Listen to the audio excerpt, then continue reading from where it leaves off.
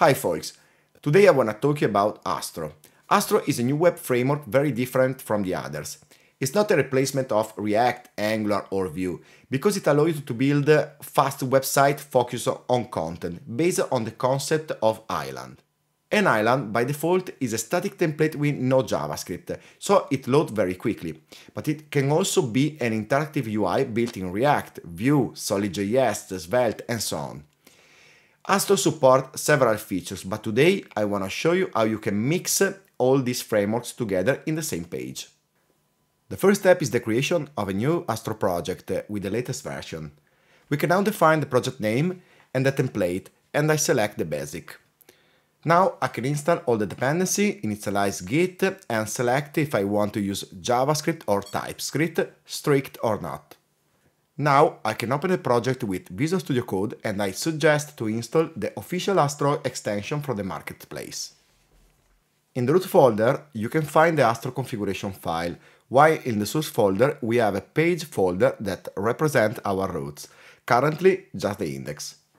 The layout folder contains special Astro component used for creating reusable templates, and of course the component folder can contain our components. Now we can open the terminal and run the demo project on localhost 3000. Card.astro is an example of Astro component, but now I create another one from scratch. But first I wanna clean the index page, removing everything.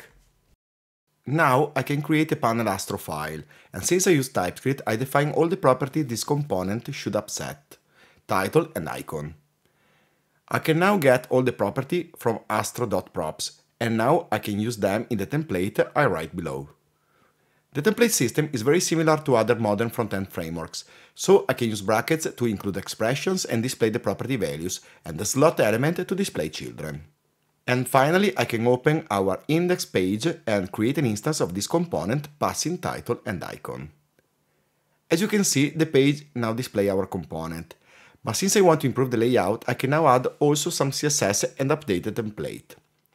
Finally, I come back to index and I add some content to the panel that is used from the slot element. I can also create another panel and it should work fine. Now I want to add a React component, but first I need to add the React support by using npx astro add react. This command will install all the dependencies and it will configure the project to support React. I can now create a new hello react tsx file that contains a React component with a local state to handle a counter.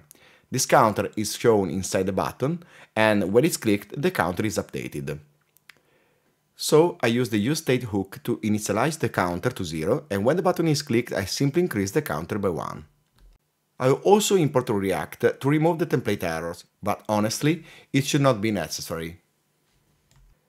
I can create an instance of the component in the index page and as you can see, it doesn't work. The template is visible, but it's not interactive. In fact, by default, an external UI framework is not hydrated in the client. The HTML is rendered onto the page without JavaScript, so it doesn't work, because the template is visible, but it's not interactive. By using the client load directive, we communicate to Astro that this component has an high priority and should be visible and interactive as soon as possible. Now I add some break element to move the component out of the viewport and I run the build command.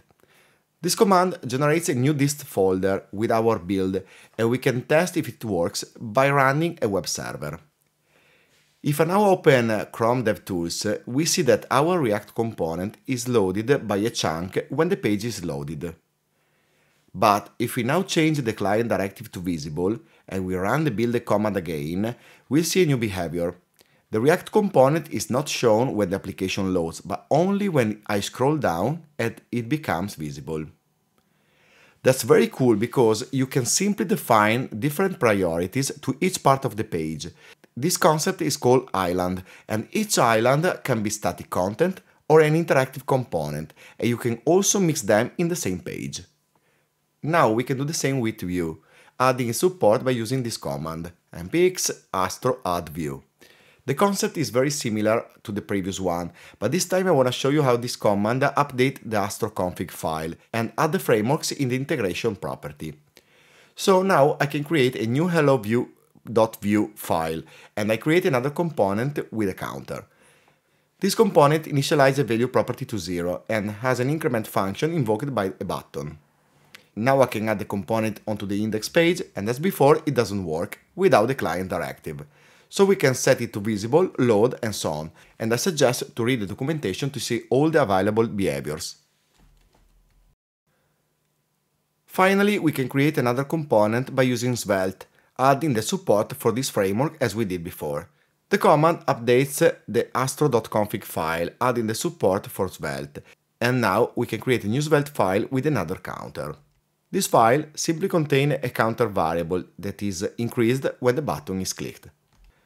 Now I create a new instance of the Hello Svelte component in index.astro by using the client load directive, while React and Vue are set to visible.